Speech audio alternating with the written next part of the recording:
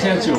我们今天的信息是在幕后的日子做主的精兵啊，求神兴起，我们都能够有这个爱主的心，被神使用做主的精兵，影响这个世界啊，这个非常的重要。为什么呢？我们看到这个世界其实实践不多啊，我们看到这个有没有看新闻，或者是你们在你们的地方有没有感受天气变化很大？是不是？非常的热，比以前热很多。这个是啊，以前没有的情况，但现在热得很厉害。圣经里面有说，将来在末后的日子会热死人，就是说啊，在末后的日子会啊很啊这个热浪越来越严重。所以啊，我们这个情况就看到比以前更严重。其实。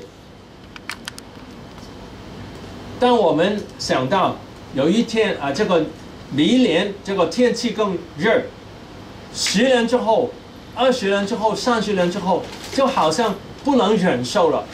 所以我觉得这个可能就是世界末后其中一个现状。啊，还有其他的原因，这个疫情啊、疾病啊、啊经济的问题啊、战争，这个啊很多地方都可能有战争，所以就。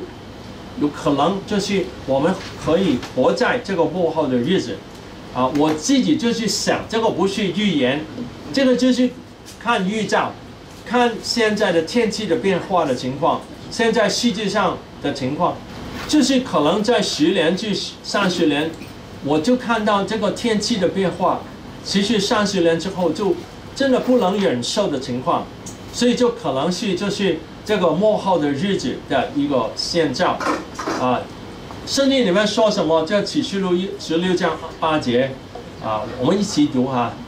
第四位天使把碗打在日头上，叫日头能有火烤人，愿被大热所烤烤。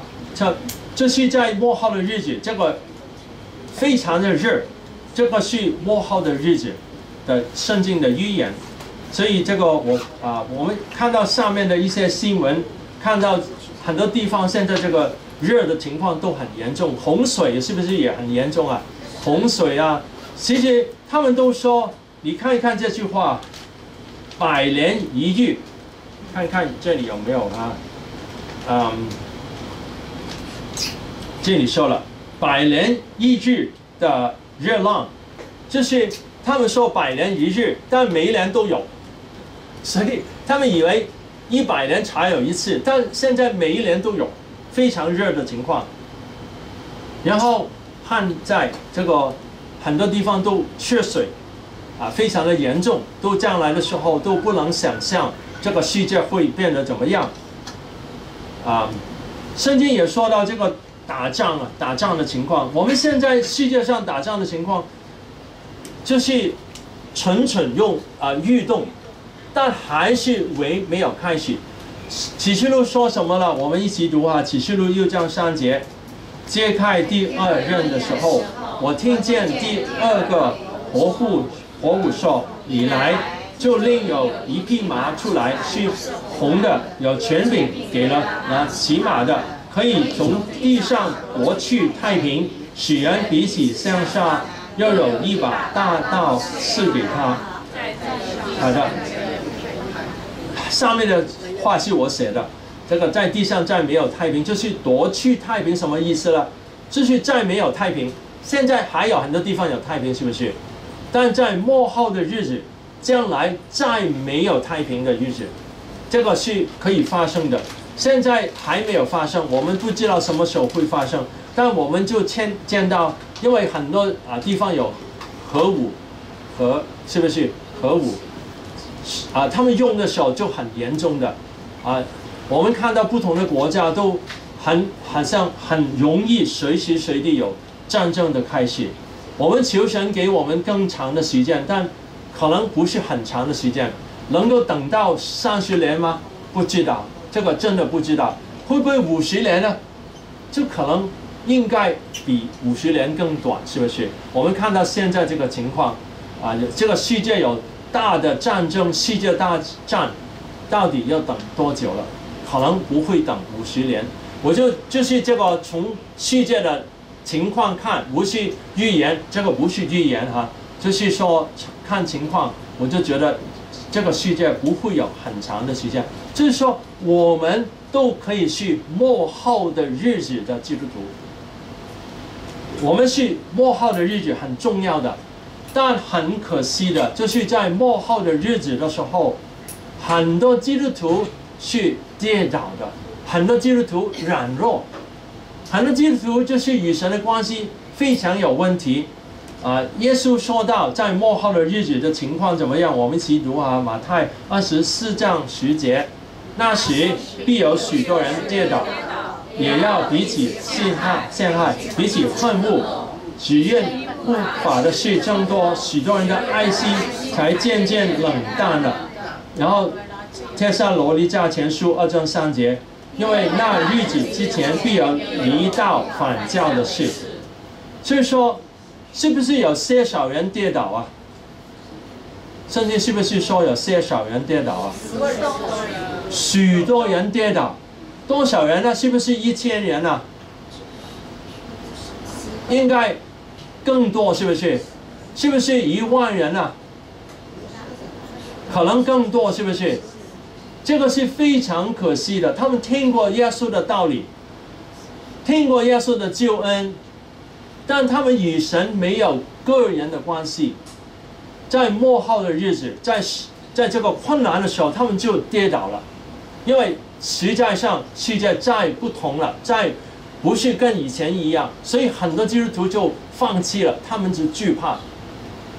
你们会不会跌倒啊？你们宁愿宁愿去有永生，还是宁愿在世界上啊，就是有世上世上啊，你啊享有的啊需要东西，还是有永生哪一样更重要？如果有一天你要放弃你的食物，你会不会说，我抓住耶稣更重要了？抓住耶稣更重要。我希希望你们都是这样。有一天可能我们不能再买食物了，不能再买食物，因为呢，什么原因呢？因为买食物就要拜寿，受这个寿的印印记，所以在那个时候很多基督徒就跌倒了。比起陷害，比起恨恶，哇，你会不会会不会恨恶你的？牧师啊，不会，不会。但有一天，有些基督徒他们会恨恶他们的牧师，恨恶他们的弟兄姐妹。所以我们需要有心理准备，这个会发生的，这个事情会发生的。有一天，当这个事情发生的时候，你会怎样反应啊？哇，他们都跌倒了，我也要跌倒了，会不会这样说了？我希望你不会。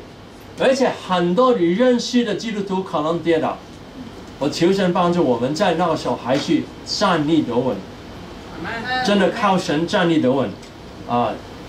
然后因为不法的事增多，许多人的爱心才渐渐渐冷淡了。其实这个世界是不是受很多影响啊？我们看看到很多人很喜欢玩手机、玩游戏机。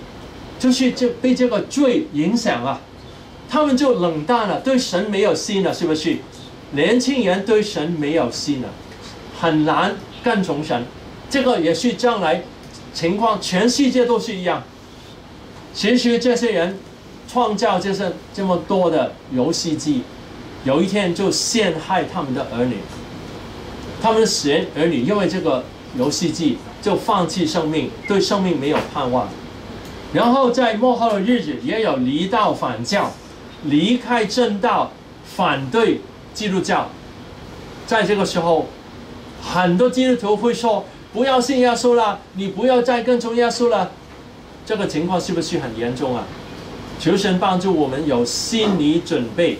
有些基督徒读了这个经文，但心里没有感觉，就好像这个不会发生，不会发生在我身上的。但其实很快。如果刚才我说可能十年至三十年会发生，我们不知道还有多长的时间，里我们会见到这些情况发生，很多人跌倒。但在这个困难的时候，神说让将福音传遍天下，对万民做见证，然后末期才来到。在这个困难的时候，基督徒还是靠神传福音。但上面写什么了？五十个有严重逼迫的国家，其实现在逼迫的情况越来越严重，这个是非常可惜的。很多地方非常强烈的逼迫，而且你们可能刚刚看看新闻，我们不知道你们有没有看新闻。在非洲有一个国家，就是有这个啊政变，有没有看到这个啊？你。尼者这个啊，我忘记这个中文名字。这个国家啊，其实在这个呃柬埔柬埔寨也是有这个政变，不同的地方有不同的政政变。这个世界在政变的时候，都很多时候逼迫基督徒啊，有政治的原因逼迫基督徒，也有宗教的原因，有其他宗教会杀害基督徒。每一天都有基督徒被逼迫，这个世界上有教堂。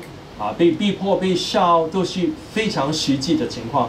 但有一天，如果你传福音会被抓，你还不会，还不会，会不会去传福音呢？会，会非常好。我希望我们都说，灵喜不屈，就是说灵喜，我要更从神。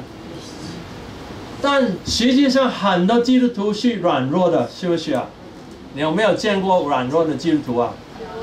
很多很多。软弱的基督徒遇到逼迫，他们第一样会做的事情是什么了？就离开神了。所以我们就说，神啊，帮助我们不断传福音，建立他们的灵命，帮助他们的灵命，在可以的时候建立他的灵命。好了，我们怎样做合神信意和得神喜悦和祝福的基督徒？就是在这个幕后的日子，很多基督徒软弱跌倒。我们怎样能够站立得稳？啊，被神束福使用。上面写的七点啊，第一，藏在耶稣里才有才能够多结果子。啊，刚才我来的时候有一个姐妹讲到，告诉我这个情况，就是有很多的母亲，他们的儿女不读书、不做工，就是在玩游戏，然后啊，将自自己关在房房间里面。没有力量，很很难改变，也不愿不愿意信耶稣。然后这些父母也是里面很多怒气，很多愤怒，很不开心，没有力量。为什么呢？因为很多基督徒不都没有学到从神得力，他们没有学到怎样有神的力量。这个我们需要学习怎样亲近神，用心灵和程序敬拜，我们才有能力的。如果我们没有学到从神得力，就必定必定在困难的时候必定会跌倒。但如果我们从神得力，任何情况都不会怕。然后第二，信靠神的美善和和喜乐，神必祝福爱他人。有些基督徒是这样很重的担子，啊，要传福音啊，要站立得稳啊，很困难的，传福音很难的，传道很难的。这样的话就没有力量。圣经教了什么？我们为神将一杯凉水给一个小姐，也不能不得赏赐。意思是什么呢？小小的事为神做都可以喜乐，神都喜悦。所以我们可以整天说，我所做的神很喜悦，神很喜欢，神就祝福我，就可以开心。我发觉这个对我。很有帮助，我就常常在喜乐里面。其实我因为我小的时候和成长的时候都很长的时间有家庭有有骂有打有有打，还有很多的逼迫之后人的啊攻击啊啊批评啊这些情况，令我的里面有压力，我就发觉有些时候我自己会有一种压力感。尤其是没有事情做，当我很忙碌的时候，反而我没有这种压力感。当我静下来，例如洗碗的时候，洗碗的时候就觉得有一种压力。然后我就想到神让我想到，就是一杯凉水，神都喜悦；就是做最小的事情，神都喜悦。所以我们亲近神，神在笑，他因我们喜乐而欢呼。所以他笑，我笑不笑了？神在喜乐而欢呼，我也可以笑。所以我听见神的时候，我说：“哈利路亚，感谢主，感谢主！”神就喜悦，神就很开心，他就很喜悦，我也可以开心。这个是得喜乐很重要的方法。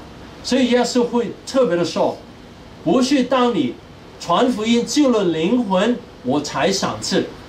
就是你做最简单的一杯凉水，也不能不得赏赐，是不是容易啊？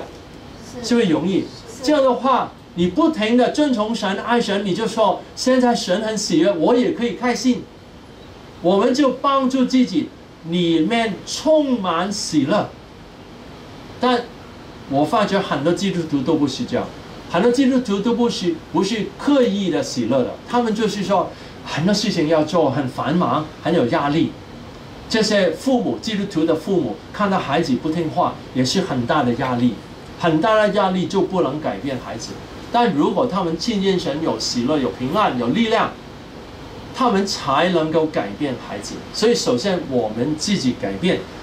我发觉，我两个方法有喜乐，一个是唱诗歌，哈利路亚，啊，主耶稣真奇妙，主耶稣真奇妙，唱诗歌有喜乐。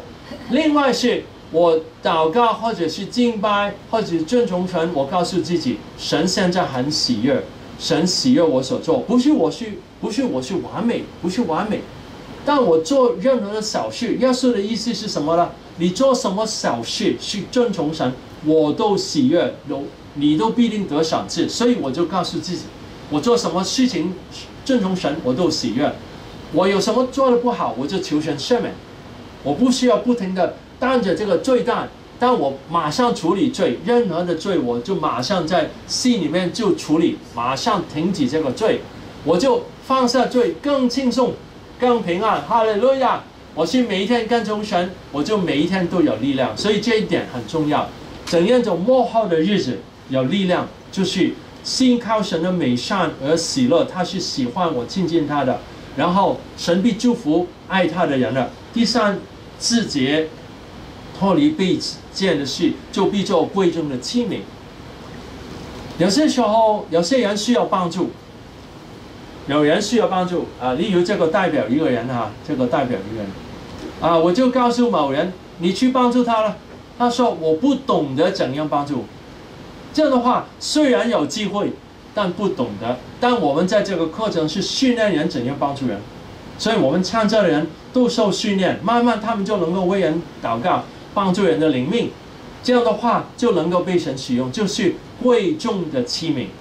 但很多人不是贵重的器皿，很多人是被贱的器皿，是误会的器皿，就不能做任何事情。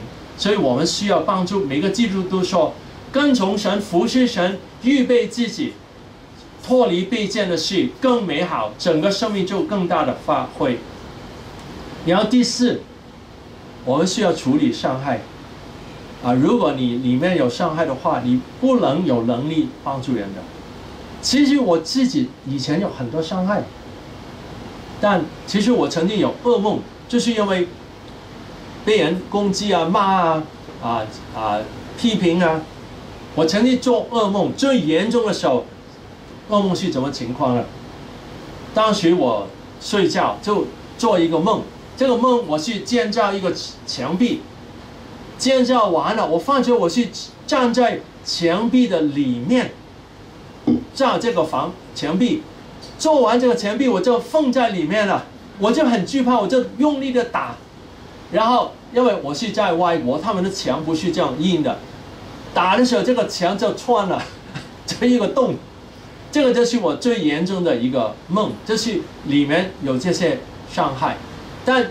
这些伤害令我更去找神的安慰医治，我就看到我们倚靠神、亲近神、亲近神，神就喜悦，我就可以开心，我就整天开心。这样的话，我就可以被医治。所以，如果你的里面有伤害，你需要接受神的医治、安慰，让你放下重担，不要再吃垃圾。因为很多吃垃圾，就是人说的不好的话都吃了。吃了之后，我们里面就很多充满垃圾了，但如果我们是吃的都是好东西，神的恩典、神的爱的话，并且是人的好的地方，基督徒有很多好的地方，我们都可以接受的。这样的话，我们里面就充满恩典了。第六，饶恕人不计算人的恶，以善胜恶，就是用良善攻击啊，帮助人能够被神改变啊，帮助传福音、建立人的灵命。这样的话，我们不被人影响。其实我遇见不同的人对我有负面的作为或者是言语，但我说我不要被他影响，我要善待他，我善待他。反而得胜，神也祝福，然后放下自己的执执啊执着、要求、欲望、愤怒、罪，所有的不好的东西都放下，然后委身怜悯人、恩待人、传福音、建立灵命。你愿意这样吗？你愿意处理你的整个生命？需要处理，受训练才能够被神使用。没有的话，就是有机会也不能为神做什么。而且很多小做的时候都有不好的见证，因为里面有怒气。这个经文说什么了？历代记上二十九章十一节说，就是神有大能大力，使人正大强盛，都出于你。就是神有强大的能力，他叫我们正大强盛，我们可以伟成为伟大的人。你想不想成为伟大的人呢？想。你现在是不是伟大了？你相信你可以变为伟大吗？你想不想？你愿不愿意付出代价？你付出代价就可以了。你想的话，你愿意付出代价，请你举手。我愿意付出代价，成为伟大的人，被神使用，被神祝福，你的生命就会被提升。感谢天父，哈利路亚。有一点，为什么很多基督徒没有跟从神呢？没有顺服神，因为他们以为他们可以靠自己的方法得利得祝福。但圣经告诉我们，神掌管我们生命每一个部分，所有的地方神都掌管。这个世界神也掌管，这个世界的前路神也掌管，所有的事情都在神的手中。所以，如果我得到神的喜悦，神喜悦我。祝福我是最重最重要的，有神的喜悦，有神的祝福就够了。世界上，世界上我们不需要追求，但有神，神也赐福我们在世界上的生活，神也赐福我们，供应我们，给我们力量。所以，第一，我们知道神掌权，我们就说神同在带来的平安、喜乐、动力、力量，我有这个从神来的力量，我是。信天神了，神给我力量，他必定使用我。神的力量不是为了享受，神的力量是为了使用我们，提升我们的。第二，我们的生命的方向、计划、恩赐、能力、供应、健康、人生啊和侍奉的机遇啊机遇、成就、寿数，所有都是神掌管的。以下所有都是神掌管。你有多长的寿命，有多。美好的健康，有些人寿命很长。我在曾经在医院做院牧，有些人有八十岁、九十岁，但他们有二十年、三十年是病，有病的，躺在床上的，这样长寿好不好啊？不好。是的，二十年、三十年就病在床上，很痛苦。但我们求神给我们力量。能够侍奉神到我们死的时候，赐给我们所有的机会都是神掌管。但我们明白一切都是神掌管的，我们就说跟从神最好，神就祝福。啊，这刚才这好像前天啊，我跟一个比较年轻的人，我们在看手机，然后我看的时候，我看这么近，我看都没有问题，但他看的时候要这样看，因为。这个老化的情况啊，我我我不是说这个人的问题，我是说神祝福我，我感谢神，我希望神的祝福我们每一个。就是说有神的祝福，就是年纪大了还是能够没有老化，没有力量，有声音，有信心，有恩赐，有神的教导。这几几天的教导，你没有看到神的智慧处理生命的方法，是不是很有帮助啊？所以我们希望我们都有这个机会。其实神给了我的机会，都传给你们了，是不是？你可以使用的，免费使用，不用付钱的，你可以使用。你会不会开始使用啊？我希望我们都使用，所有学习的放在心上。为什么我学的这么好了？从我信耶稣的时候，我知道神是美好，我就很喜欢神。然后我看到什么经文，我觉得很好，我就放在记忆里，我就应用，我就看到神应许这么好，我就相信，我相信跟从我的生命就提升。所以我记记得圣经很多很多的经文，我希望我们都是这样，能够喜欢神的作为，神的话语，神的一切，神的圣灵都喜悦。这样的话，我们就整天都有神各方面的祝福。然后神预备支持和帮助我们的人和群体，我们一起服侍需要人一起。我们感谢神这个啊复兴宣教施工，虽然是小的施工，但我们帮助过很多人。我曾经去十五个国家，都是这个复兴宣教施工奉献支持的。我去过很多的地方，啊，也在网上不停的训练。现在训练非洲的牧师，现在认识你们也可以给你们训练。我再会继续去训练，我也训练人去训练。这是神为我们预备的人和群体。当你有这个周围的基督徒配合你，有教会有不同的群体配合你，你就说：“我感谢神，我要珍惜神这些礼物，我要珍惜周围的人。”我珍惜从他们身上学习的，我就应用在生命中，所以这些都是神给我们的。好了，下面写：当我们全心信靠、亲近神、爱神、尊崇神、侍奉神，神就全全面性的祝福提升我们。如果不遵从的话，魔鬼就拆毁我们的生命。你要走哪一条路呢？我们就可以告诉人：你走神的路，走神的路，你的生命整个生命就被提升。整个生命更蒙福，是不是更好啊？好了，这个完美的计划，中间是完美的计划，外面很多是什么程度了？软弱的程度。有些人有一些参与，然后有些人投入，有些人是委胜，最后不但是委胜，而是神给他的策略。我感谢神，神给我的策略是训练侍奉的人，训练牧师传道，这个是神给我的托付，是训练兴起人。我们这个课程也是训练训练人，他们现在都啊常常都啊习惯为人祷告，也领受神的指示，也有不同的经历。一啊一下子我们会有见证，他们怎样经历神的作为。这个世界。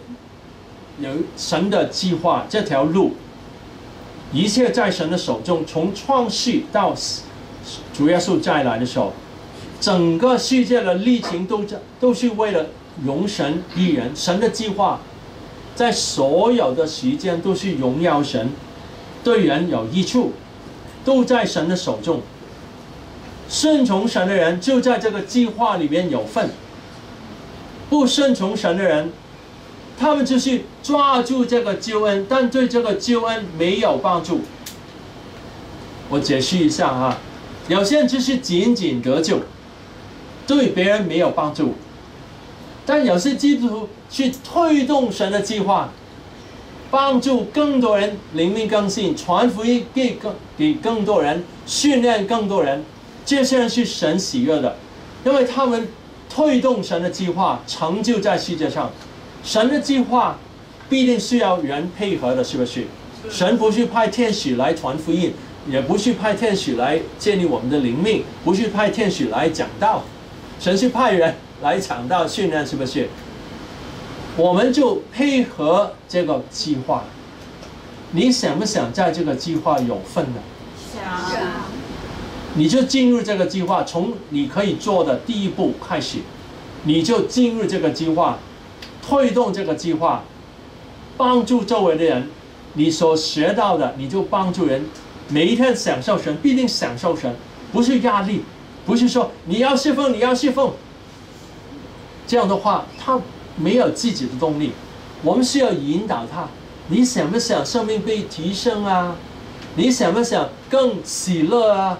你想不想有力量啊？你看到呃，记得这个方法引导。你想不想用这个方法？你跟我说，你想不想？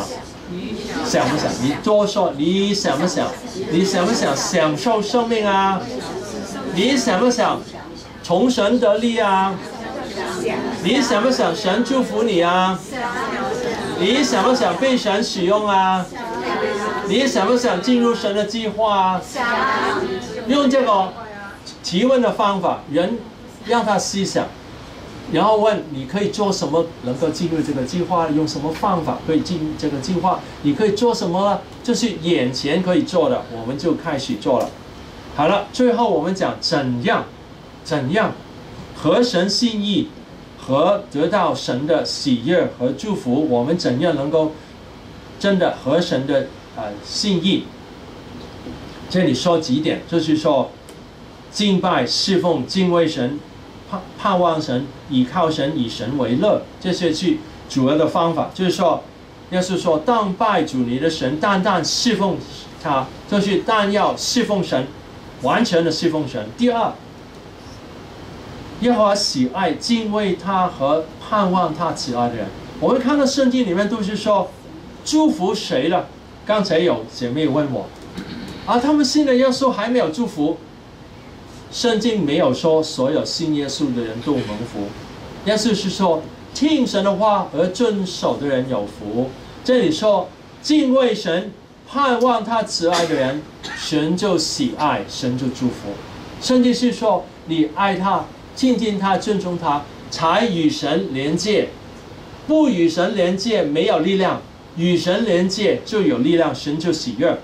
然后诗篇二十八篇七节：耶和华是我的力量，是我的盾牌，我心里倚靠他而就得帮助。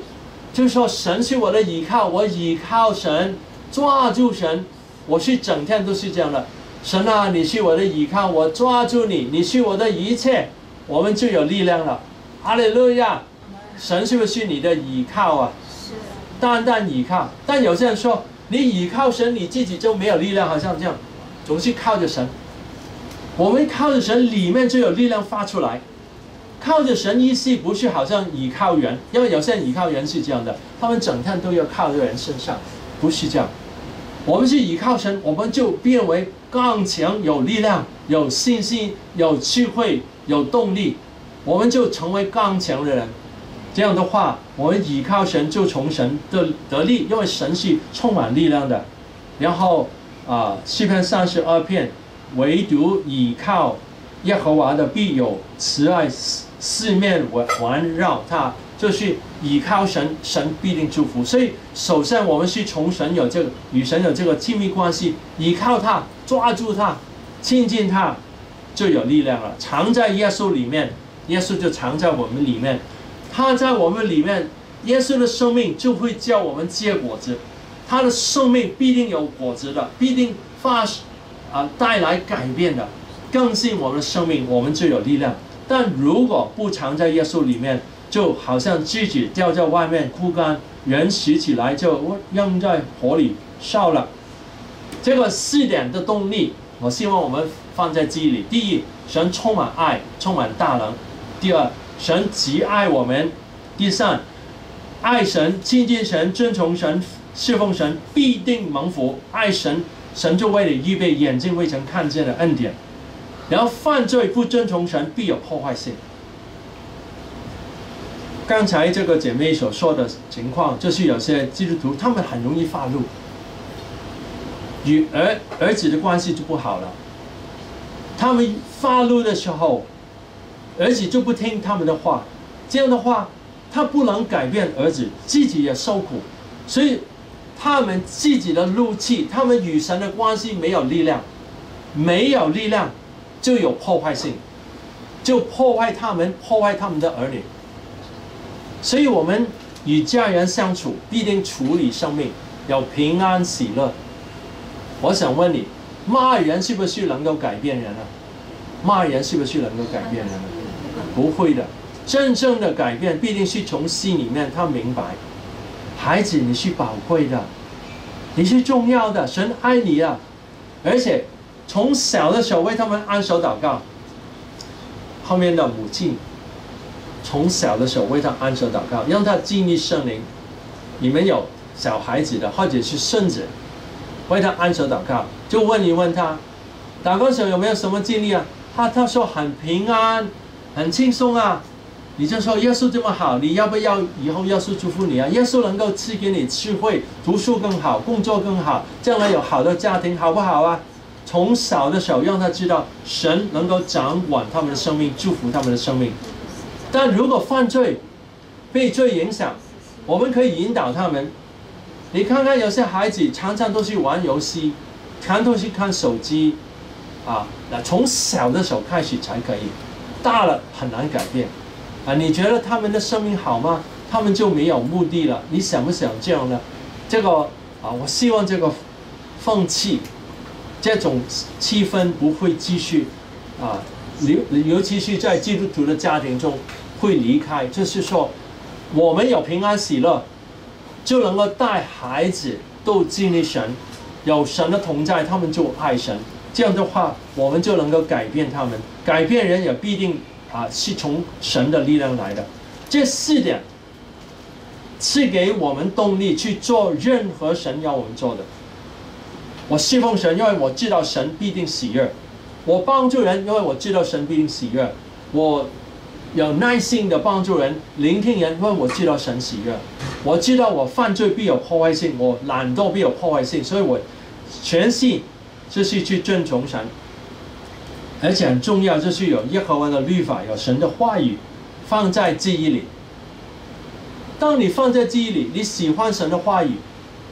你的里面就有力量，因为神有很多应许，有应许就有力量。你要用心灵和程序敬拜，这个是我发觉很大的秘诀。用心灵去爱慕神，首先是思想、依据、感情，整个思想说神是最美好的，神能够祝福我的。依据，我要跟从神，直到我死的时候，我完全的跟从神。然后感情，我想到神就喜悦神。我喜欢神，我享受神，我我享受与神一起的关系，因为神是美好的，所有的作为都是美好。他我们亲近他，也带来生命的改变和喜乐，所以我们就说神最好，我就喜悦他。我们所有一切都是从神来的，所以我里面对神充满感情，以神为乐。这样的话，我们祷告就容易有力量。哈利路亚，就有力量。感谢神最有力量。其实我们中间有啊不同的人都有喜乐，我们中间有喜乐，就是他们祷告就有喜乐，因为我们习惯从心灵爱慕神就有喜乐。然后我们需要长期被圣灵充满，我们要成为基督精兵。首先对付罪，离开所有罪，憎恨罪。第二，圣经，爱圣经，遵从圣经，依靠圣经的话语。有信心，我相信神很想充满我，神很想祝福我，神要提升提升我，然后祷告，用心灵和程序敬拜神、爱慕神，长时间走路去洗手间，在路上在车上都不停的爱慕神，神真美好啊！啊，对呀，就随时随地随随时随地。随时随地，因为我我都是习惯用广州话说的，用普通话说的时候要想一想，就随时随地都有力量。哈利路亚！我讲到的时候一边去想着神，所以我就有力量。哈利路亚！哈哈，就有动力，就享受，就轻松。哈利路亚！哈哈哈！又渴慕被圣灵充满，我渴慕。我渴慕被圣灵大大的充满，处理生命所有的罪、所有的问题、负面思想、负面情绪。我不容许我里面有任何负面的想法、负面情绪。我发觉有不开心，我马上处理。马上选择喜乐，然后安守祷告和圣灵充满的祷告会有帮助。啊，其实我们会有这个祷告的时间的。然后我们所做的都有神迹奇事，并圣灵的能力，使外邦人顺服。所以信奉不但是神的话语，也有神的能力。不但有圣灵的能力，也有圣经的话语，话语两方面都有。圣经的话语。圣灵的能力，神迹奇事，为了见证所传的道，然后在圣灵中的能力中运作。上面的图图片，就是我为一个人祷告，他本来是很痛苦的，他呼喊非常的痛苦的声音，然后我为他祷告，求神的喜乐临在。你看到他现在是在笑的，我有这个影片。他本来是很痛苦的，然后祷告的时候就充满喜乐，就充满，就整个人改变。这个是圣灵的能力，一下子可以改变人的。首先，我们在圣灵中能力运作怎样做？第一是求神赐给我们策略和方法，神会赐给我们方法、策略，怎样教导，怎样兴起人，怎样辅导，怎样帮助人经历圣灵。然后带领人去投入敬拜。首先，我们求神给我们策略去帮助他们，然后带他们敬拜。敬拜之后，或者是集体的祷告，然后就为人安守祷告。首先有投入的祷告，然后为人安守祷告，为人的疾病、忧伤、烦恼、灵命更新，安守祷告，也使用知识言语和或者是限制性的恩赐。神如果给你这个恩赐，就使用，也，啊啊，就是啊测试是不是准确。如果你领受信息，你告诉这个人啊，我有这个意念，不知道是不是准确的。这些一些方法运用使用这个圣灵的能力，就靠着圣灵的能力传福音和更新人的灵命。我希望你们都训练你们的教友。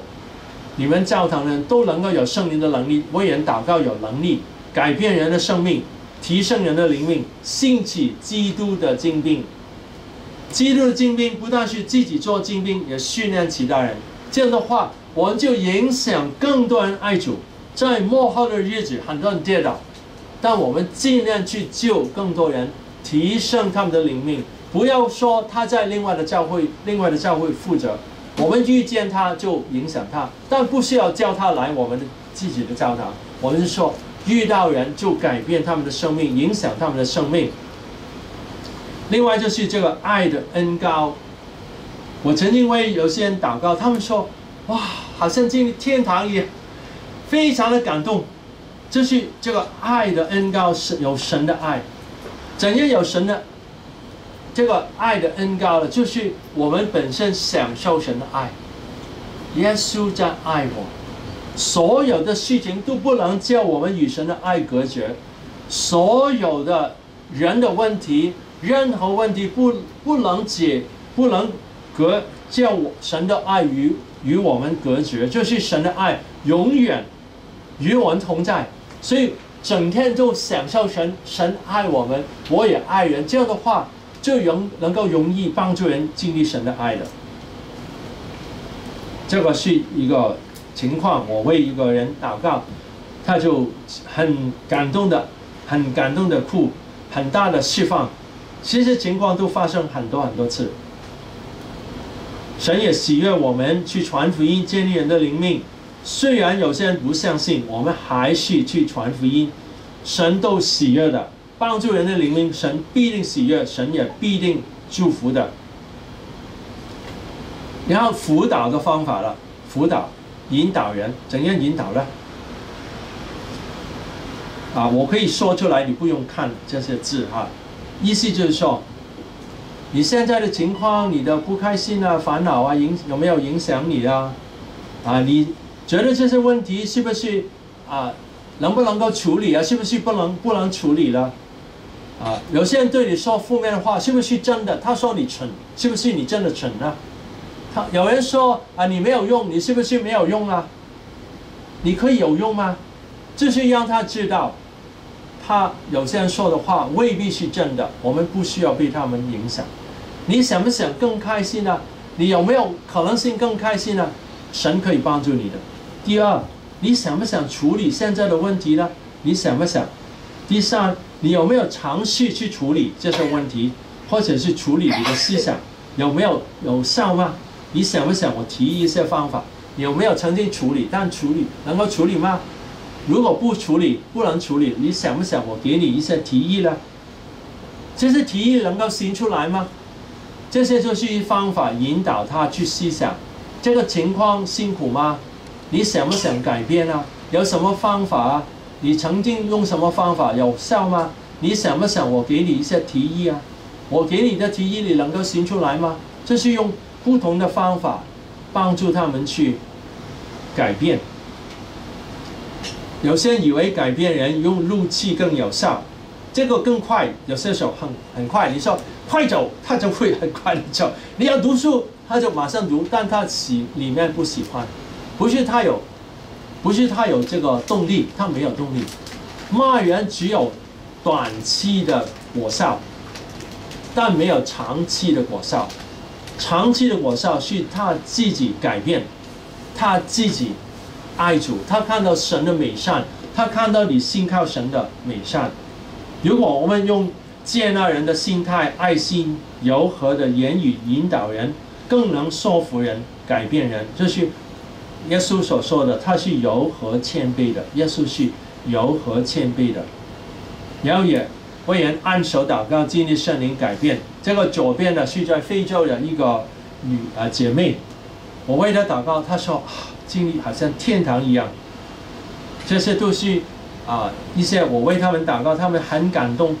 啊，就是我们可以为人安手祷告。有孩子的时候，为他安手祷告，让他经历圣灵，然后问他，啊，你有什么经历啊？他说很平安轻松，你就问他，耶稣这么好，你想不想耶稣以后祝福你啊？他愿意的话，你就说啊，你愿不愿意去爱神呢？